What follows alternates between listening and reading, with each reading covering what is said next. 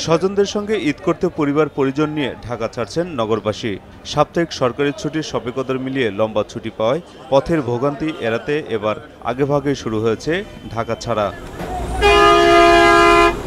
ভোর থেকেই ঘরমুখো মানুষ ভিড় করেন বাস টার্মিনালগুলোতে। প্রায় সব রুটেই অতিরিক্ত ভাড়া নেওয়ার অভিযোগ করেছেন যাত্রীরা।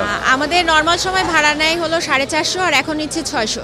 ওইভাবে যদি কোথাও কোনো কিছু বলেন ওইভাবে প্রতিকার পাওয়া যায় না। যে আমি একটা জায়গায় বললাম উল্টারও দেখা যায় যে পরবর্তীতে আরও হ্যারাসমেন্ট হয়। যে লেভেলেরই মানুষও কষ্টদায়ক হয় হ্যাঁ? তো এটা দুশো তিনশো টাকা যদি একটু বেশি হতো তাও চলতো কিন্তু আটশো টাকা আসলে এটা সত্যি। চার্ট হলো দুইটা দিচ্ছে একটা হলো বিআরটিসি চার্ট আরটা হলো আমাদের টার্মিনাল যে চার্ট সংগঠনের।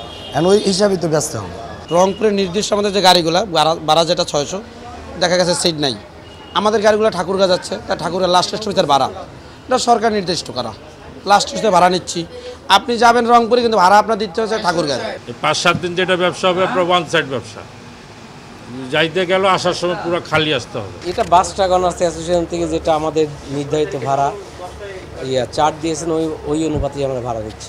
অতিরিক্ত ভাড়া আদায় বন্ধ সহ যাত্রীদের ভোগান্তি দেখার দায়িত্ব যাদের কোনো টার্মিনালেই তাদের পাওয়া যায়নি। গাবতলি বাস টার্মিনালে সড়ক পরিবহন ও সেতুমন্ত্রীর নজরে আনা হয় বিষয়টি।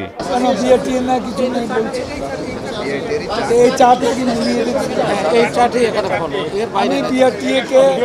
চেয়ারম্যানকে আবারও বলছি আপনি প্রত্যেকটি কাউন্টারে আপনি গিয়ে আপনার চার্ট ইম্পোজ করুন। বিআরটিএ চার্ট মতো যেন ভাড়া নির্ধারণ হয়। এর বাইরে যেন you can't go beyond that ঠিক আছে? এটা এখন থেকে চেক করুন সাংবাদিকরা যখন একটা বিষয় উত্থাপন করেছে, আমি এটাকে অসত্য বলে মেনে নিতে পারছি না। কাজেই এটা সত্য অসত্য, আপনাদের চার্ট আপনাদের চার্ট আপনারা ইম্পোজ করেন। সব মন্ত্রী জানান এবার সড়ক পথে নেই কোনো ভোগান্তি। রাস্তায় যদি শৃঙ্খলা থাকে সড়কে কোনো অসুবিধা নেই।